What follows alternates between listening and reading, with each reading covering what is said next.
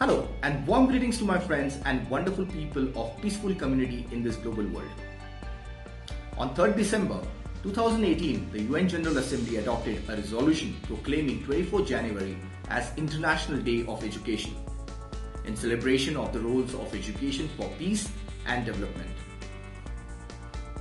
The right to education is enshrined in Article 26 of the Universal Declaration of Human Rights. The declaration calls for free and compulsory elementary education.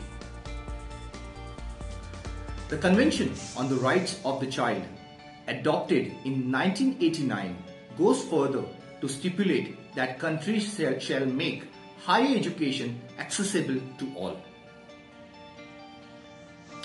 When it adopted the 2030 Agenda for Sustainable Development in September 2015, the international community recognized that the education is essential for the success of all 17 of its goals. Sustainable Development Goals, especially four in particular, aims to ensure inclusive and equitable quality education and promotes lifelong learning opportunities for all by 2030. According to the UNESCO statistical data, an estimated 258 million children are not in school. The situation is worse for marginalized communities, those living in regions with higher inequality, and underdeveloped countries. The bitter reality is that there is countless societies around the world today where education is dismissed as unnecessary.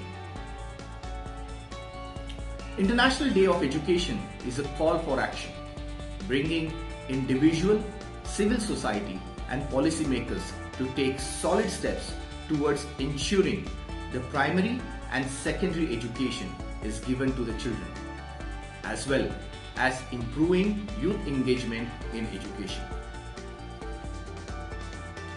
The theme proclaimed by the United Nations for International Education Day 2022 is Changing Course, Transforming Education. Times have changed and so have methods and mediums of learning.